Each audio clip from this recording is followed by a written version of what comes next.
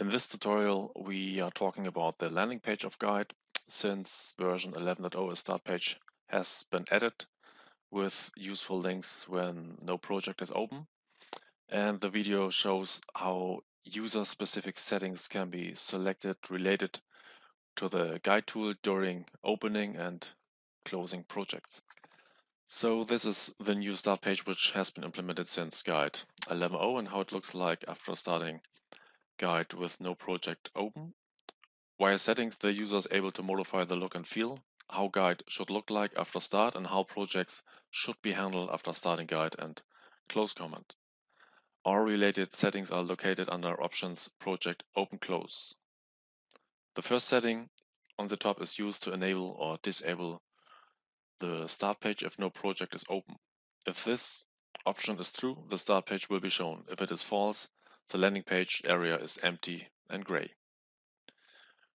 The next area in this settings is, um, is to use the previous project when starting guide. So always the previous project will always be opened when guide is started. If not packed, the previous project will be opened when guide is started, but only if it is in P1X format, so a plus one guide project file, if not manually closed, the previous project will be open when guide is started, but not if it was previously closed using the close project menu option. And never, the previous project will never be opened automatically when guide is started. The next setting can be used to display a file open dialog after guide has started, so the user is able to select any project to open a previous project will be pre-selected in the file open dialog if the open previous project settings are active. In the lower part of this window, you can change settings concerning project close behavior.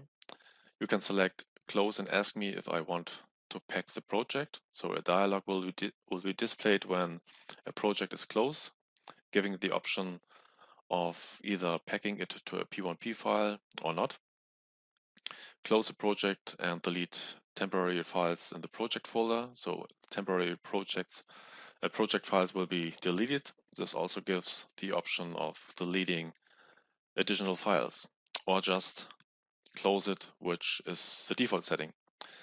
It is recommended to select one of the last two options when working with version control systems like SVN or Git.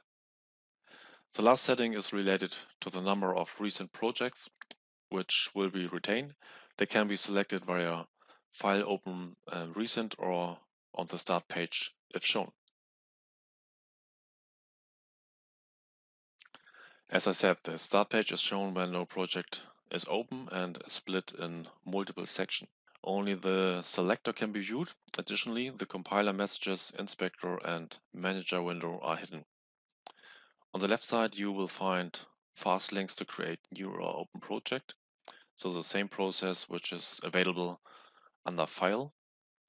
Also fast links to open recent projects where all retained recent projects are displayed and the number of the recent projects are configurable which was shown before under options.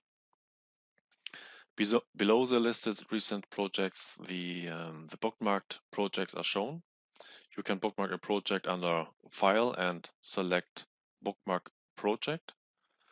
This project will then be listed and can be removed via right-click and select Remove from List.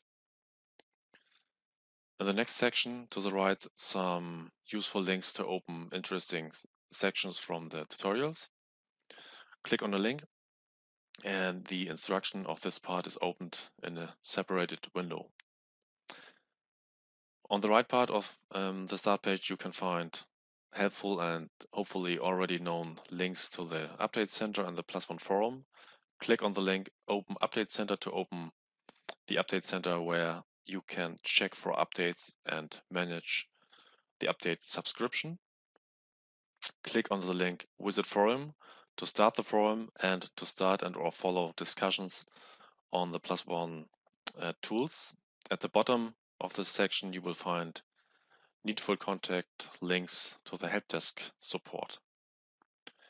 Without open a project, you can only show the inspector where the user do have access to any file and document inside the four tabs Component, Function, Hardware and My Code. We hope that you found this tutorial useful. Remember that Plus One community help is available on the Plus One user forum or contact the Plus One help desk. Thank you for your attention.